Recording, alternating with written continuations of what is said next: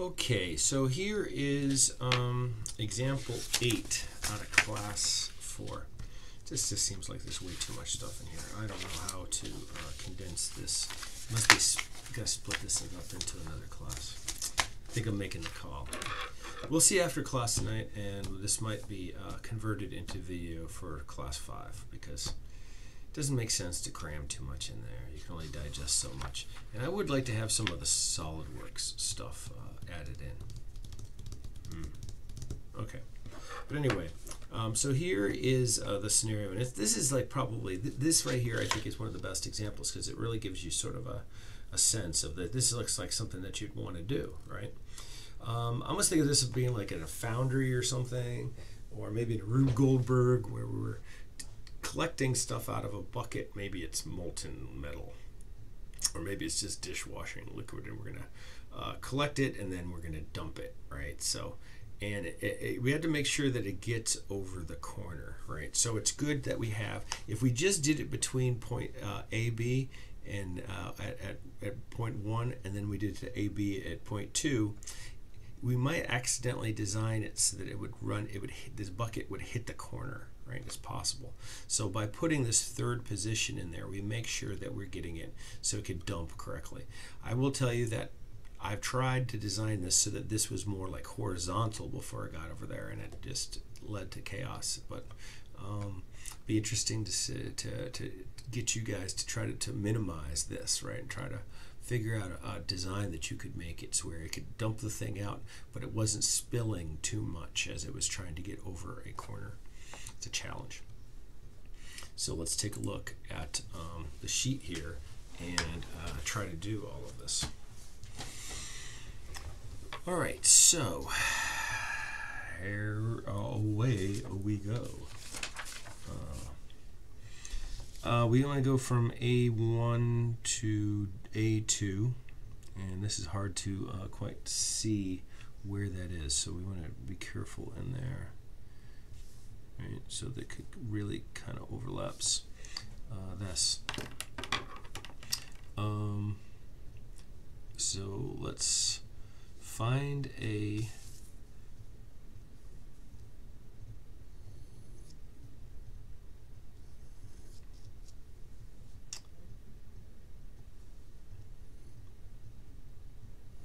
Okay, so right there, we lightly draw a line. And we do the same thing for A2 and A3.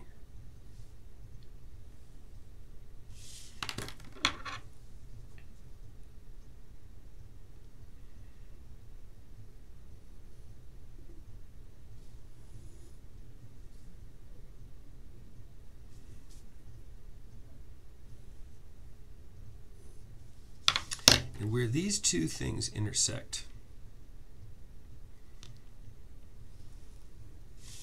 has to be the ground, right? So let's make sure that we uh, draw this in here. Between here and here has to be the ground. It almost is a bad idea to draw that dashed line in there because there's going to be too much chaos. Uh, we can erase some stuff maybe a little bit, but let's see if we can get away without it. Let's do the same thing between B1 and B2. And then do B2 to B3. Right. Let's find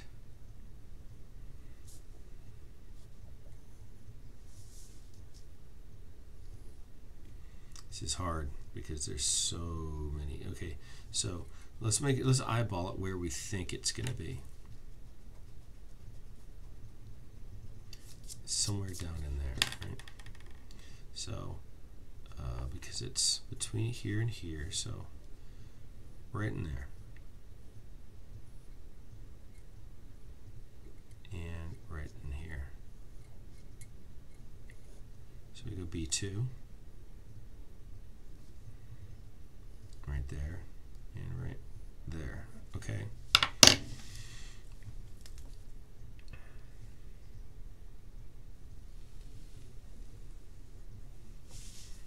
So there's that line. Now let's take B2, which we already had right over there. All right, but I'm extending him back up over there, that side. And I'm going to come back over this side up here. And now let's take B3.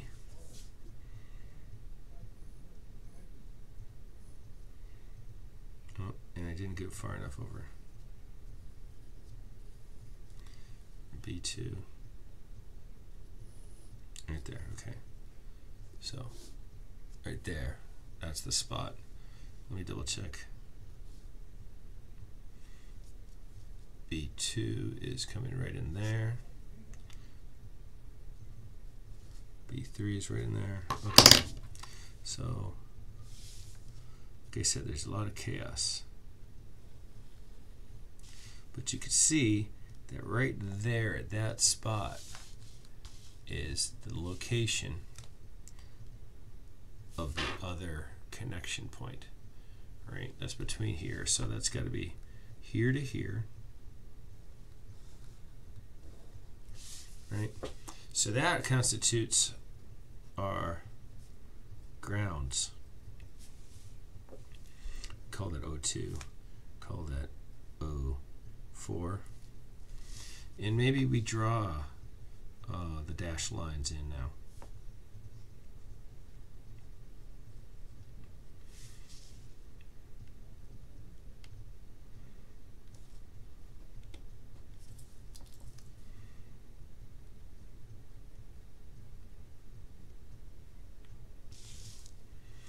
Same thing for B2.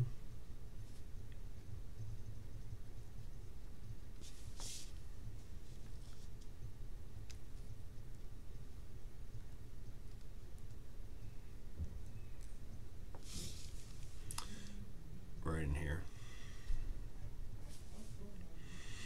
And what we want to do now is probably connect a dyad to this link that's between a2, O2 and A2 right there. That will make it cycle back and forth between uh, uh, this third position, first position and third position. We have to carefully choose where um, we're going to be here because the proportion where we make this connection along here, along this, because that's going to determine some of the Grashof. And if we're forced to make it land onto the body here, we can't make it up too high because now the proportions are going to be messed up. So um, I'm going to be like maybe make it make the rocker pretty sh shallow here.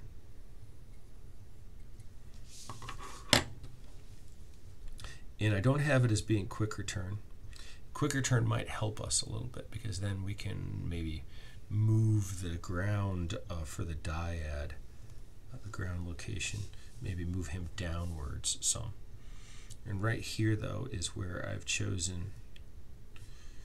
Um, and I don't think this is necessarily the midway point. I think we have to choose a midway point. Um, that's part of this right here. So let me uh, bisect this arc, or try to, and with all the chaos that's going on in here. I'll put it right there, and hopefully right here. Yep, you can see that we have not bisected this line, not with what we have available to us. So we move this right there. Okay, so that right there is the halfway point. And if we're going to make a crank, it's going to be that length.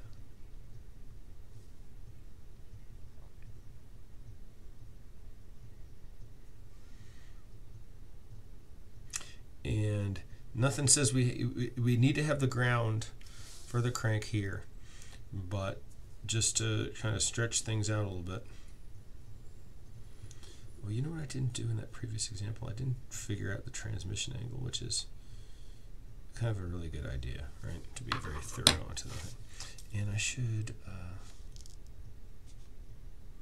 Draw this all the way up to there. So right here is when, and right here, it's right there. We'll call that O6 right here. And I will draw it in the overlapped um, condition here.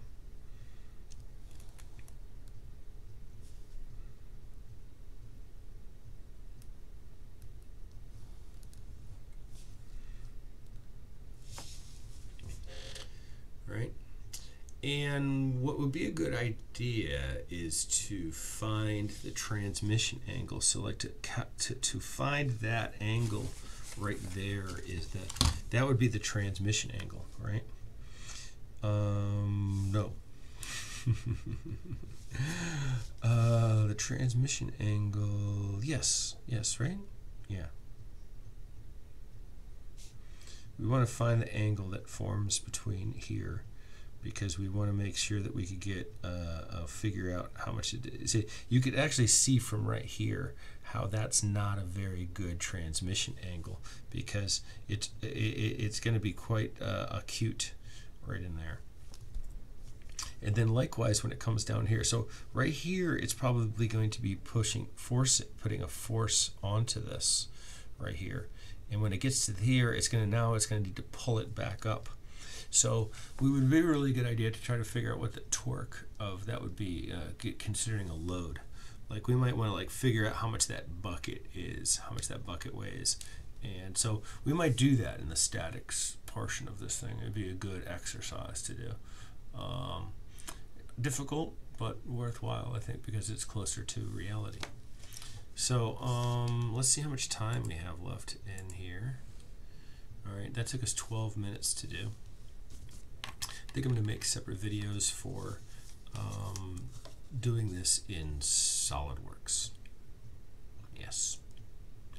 And I think we're going to break this up into classes 4 and 5. So I'm going to shift some things. See what that does in the schedule. Hmm. Let's see what we can get done today in class and then probably shift things probably mess up your notes a bit. It is what it is. We want to make the, the thing uh, a worthwhile class. So we're done.